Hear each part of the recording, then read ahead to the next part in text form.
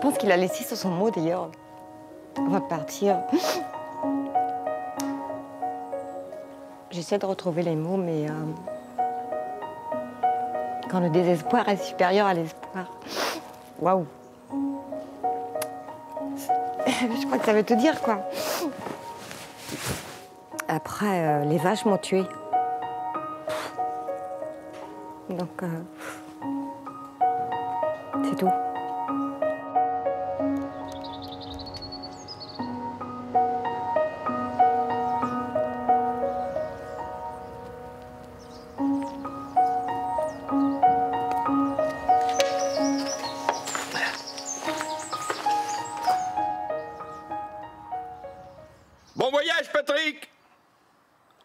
Ciao Je suis parti du petit village de Gonto de Nogaré pour aller euh, à Sainte-Anne-d'Orée en Bretagne. J'ai perdu il y a dix ans de ça un de mes meilleurs amis qui s'est suicidé, il faut le dire. Euh, agriculteur vaillant. Et depuis dix ans, donc, depuis son décès, un petit village de 1500 habitants, il y a 10 agriculteurs qui se sont suicidés.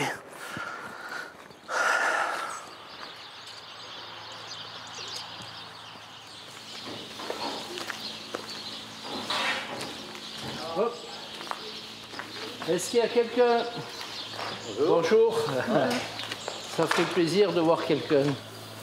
Je fais une démarche contre le suicide de nos agriculteurs parce que plus ça va, plus on a voilà, de, de- hélas d'agriculteurs qui disparaissent. Le suicide, c'est quoi en, en agricole C'est quoi? C'est un problème d'argent, bien sûr. C'est un problème d'argent Voilà. en principe. Après, ça peut être surcharge des- de travail. Ça peut être des, des problèmes de famille aussi. Oui, oui, mais les problèmes, je pense que les problèmes de famille viennent par rapport aux problèmes d'argent. Oui. Mais bon, c'est c'est difficile. C'est très difficile. Allez, au plaisir. Merci beaucoup. Au revoir. Au revoir, bonne route. Merci. Faites attention aux chiens, s'il vous plaît. Oui, oui.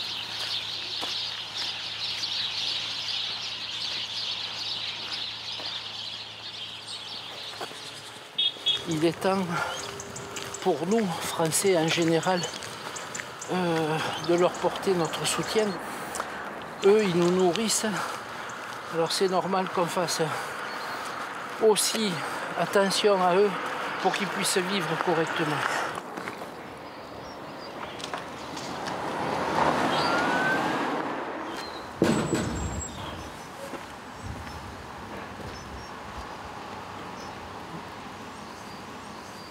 Mes parents sont arrivés ici en 1957.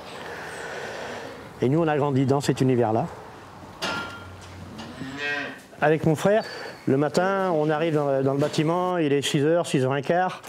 Euh, on rentre les vaches dans la, salle de traite pour les traire. Et euh, moi, pendant ce temps-là, je m'occupe de toute la partie alimentation. Euh, Vaches laitières, génisse, veau, euh, paillage, rembetage. La traite, elle dure en principe deux heures. Tous les matins, tous les soirs. Dès l'instant où on a des animaux et on a du vivant, c'est extrêmement prenant. Parce que c'est tous les jours, c'est répétitif, mais c'est tous les jours.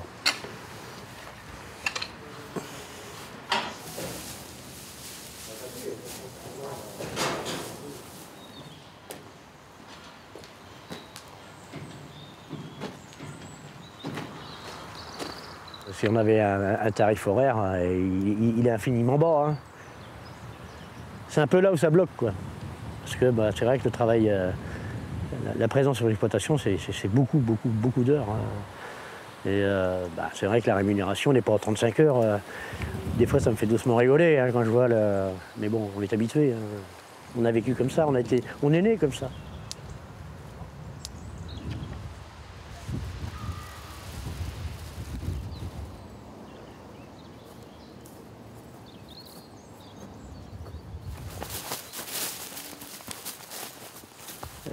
Récupérer, c'est compliqué quand on a des, des amplitudes horaires importantes. Quoi. Puis on cumule, on cumule, on cumule. Forcément qu'au bout d'un moment, euh, il y, a, quand même une fatigue qui s'in- s'installe. hein. C'est sûr que je suis an de la retraite. euh, je sens bien que j'ai plus la même capacité de résistance que j'avais il y a 10 ans ou 15 ans. Quoi. J'ai pas envie de continuer. quoi. J'ai plus envie. Donc oui, je suis usé, j'en ai marre. Il me reste sans doute pas beaucoup d'années à vivre. hein. Parce que euh, j'ai tiré la ficelle par tous les bouts, hein, euh, sans doute la, le stress, la- l'anxiété, le- sans doute beaucoup de phénomènes. hein. Donc je sais que euh, mes années sont comptées. Et les quelques années qui me restent à vivre, j'espère en profiter pleinement.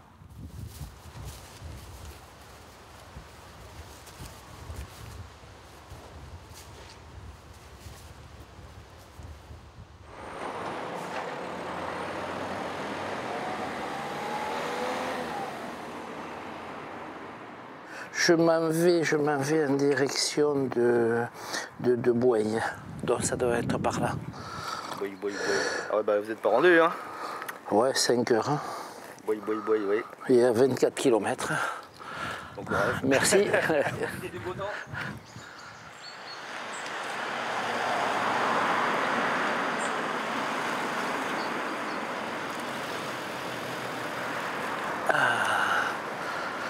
un petit peu de monde qui vient à ma rencontre et ça fait bien plaisir. Bonjour.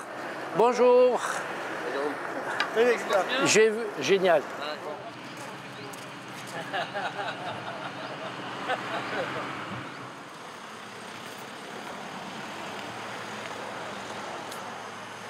Vous avez dû avoir non, quelques personnes déjà qui se sont euh, suicidées dans vos, dans vos alentours, dans vos a- connaissances. je- il y a un an et demi, deux ans là. Oui, Ça, ça a été un choc énorme euh, sur, la, sur le- la chevrolière. On a eu un suicide euh, justement euh, l'année dernière, donc euh, d'où d'où le nombre d'agriculteurs viennent soutenir ce monsieur à faire cette euh, démarche.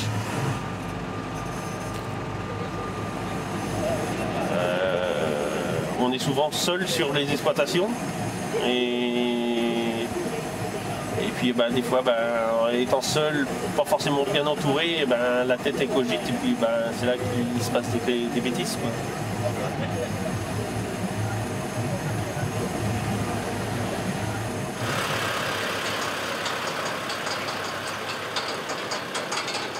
Ce qui n'est pas normal, et moi ce que je ce que j'accepte pas, ou tout au moins ce que j'accepte plus, c'est de voir que dans notre profession, on produit du lait, mais on n'est pas maître du prix qu'on nous le paie.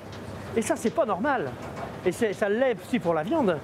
Mais euh, euh, si on veut bien nous payer le prix du lait, à un prix correct, on va pouvoir s'en sortir. Mais là, avec la crise du lait qu'on a passé, où il payait au ras des pâquerettes, c'est-à-dire qu'on tient un centime, vous ne pouvez pas s'en sortir.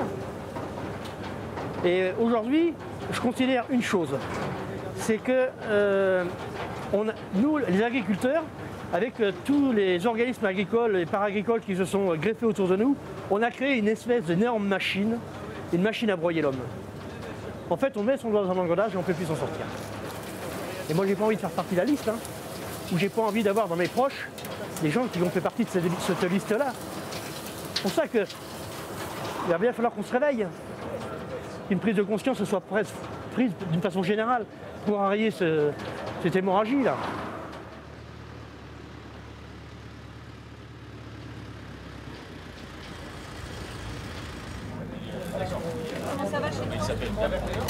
Les prix sont hyper volatiles, ça veut dire ça monte, ça descend, ça monte, ça descend, c'est des vrais dents de scie, alors qu'avant c'était quand même relativement, avec des petites euh, nuances, mais c'était des vagues, des petites vagues. Aujourd'hui c'est des tsunamis euh, en permanence, on monte, on descend, euh, et donc au bout d'un moment, soit on décide de se ruiner, soit on décide de s'arrêter. Et après un moment quand même assez compliqué, pendant 2-3 mois très compliqués, bah, j'ai pris la décision qu'il fallait que je m'arrête avant que ce soit euh, la ruine. Et, et que peut-être, avec une accumulation de, de souffrance ou autre chose, euh, on passe à, des actes qu'on aurait, qu'il n'aurait pas fallu faire, ou que ma famille aurait regretté et tout mon environnement. euh, voilà, aurait été.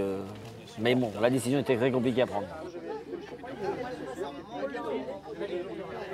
Beaucoup ont honte d'arrêter, oui, parce que dans ce milieu-là, on n'arrête pas. On, l'a fait, cette passion, c'est une passion, on doit pas. On doit continuer jusqu'à, la limite jusqu'à la mort. c'est pour ça qu'il y a peut-être tant de suicides.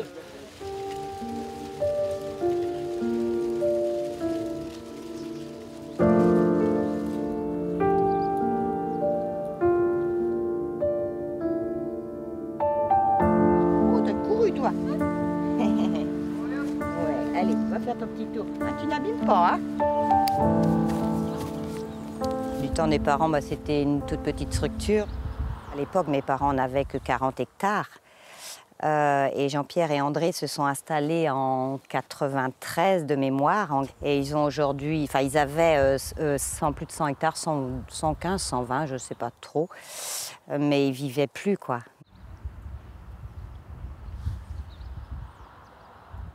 Le 14 décembre 2016, donc je vous dis pas.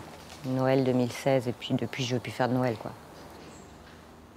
Le matin, hein, il déjeunait à 10h, 10h30, et puis euh, euh, avec son frère, il avait prévu de. euh, Donc l'aîné allait faire les courses, et puis euh, Jean-Pierre, lui, il avait prévu de boucler les petits veaux, de pailler la stabulation où dorment les vaches. Leur journée était planifiée, quoi. Qu'est-ce qui s'est passé entre. Euh, 10h et 11h où il est parti, euh, mon frère aîné, et, midi. Qu'est-ce qu'il y a eu?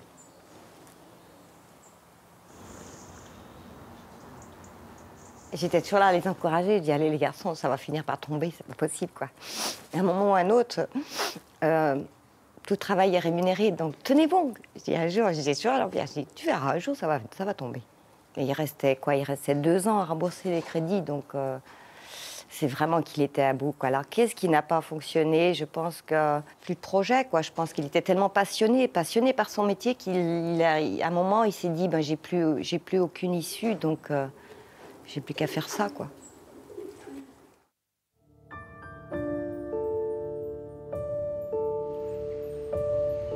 Il allait tout seul au premier. Tu suis combien de situations en ce moment? Alors, il y avait toujours les, tu sais, les 80 situations qu'on suit depuis 2-3 ans. Et puis là, on a beaucoup, beaucoup de nouvelles demandes. On a plus d'une par semaine. Donc là, je fais plus face.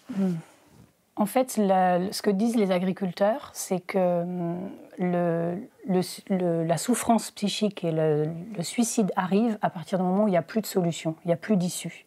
Donc quand on parle de lâcheté ou de courage, la question, elle n'est même pas là. C'est que pour elle, il n'y a pas d'autre issue. C'est vraiment la seule issue possible. On a noté trois facteurs principaux euh, dans la souffrance psychique des agriculteurs. La première, c'est la pression familiale et la pression sociale. Ce, ce poids de, de garder, de devoir garder la ferme, mais aussi une façon de faire, de garder la même façon de faire que les générations d'avant, parce que eux, ils ont réussi à, faire, et c'est difficile de changer. C'est la première forme de pression.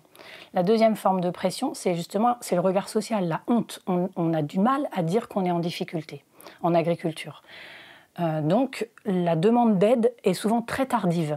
La troisième forme de pression, c'est la surcharge de travail, avec l'épuisement. Et donc on voit, on imagine bien cette soupape, en plus avec le fait de ne pas pouvoir en parler, de ne pas pouvoir demander de l'aide. Donc la soupape, à un moment donné, euh, ça, ça explose. Il faut absolument euh, trouver une solution pour qu'ils vivent, qu'ils vivent, qu'ils soient rémunérés par rapport à leur travail. C'est pas, c'est pas possible.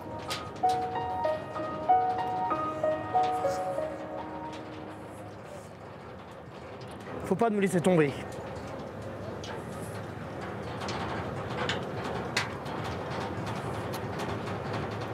Vous le regrettez, faites trop tard. Vous comprenez pas la détresse dans laquelle on est. Le jour où vous allez vous réveiller, il n'y aura plus d'exploitation. Et là, ce que vous allez manger, ça viendra des pays où il n'y a aucune traçabilité, où il y a. Vraiment, voilà quoi. Faut... Prenez conscience qu'on a le droit de vivre. Aidez-nous.